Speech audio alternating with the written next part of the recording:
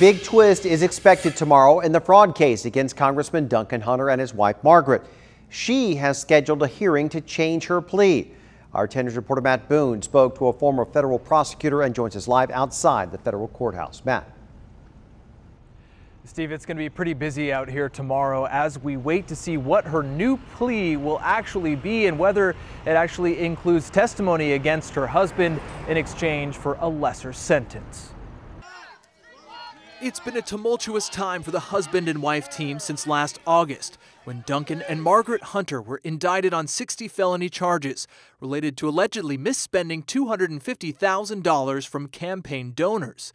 They both pleaded not guilty, but now Margaret has decided to change that. I'm assuming, but I don't know that she's agreed to cooperate and to testify. Chuck LaBella is an attorney who's not affiliated with the case, but used to be a federal prosecutor who investigated fraud. Well, these cases are difficult. He says this raises the prospect that Duncan Hunter's lawyers may end up cross examining his wife on the stand, though there are other possibilities. And maybe they just want the inside story.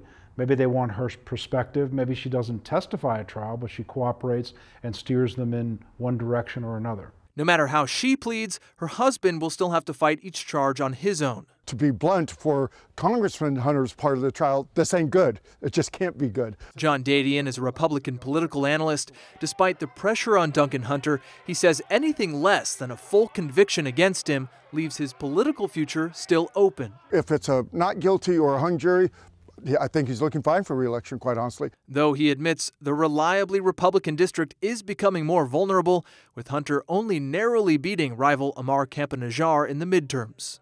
Even though I've used the phrase this is Hunter territory, they love him, they love the name, they love the family.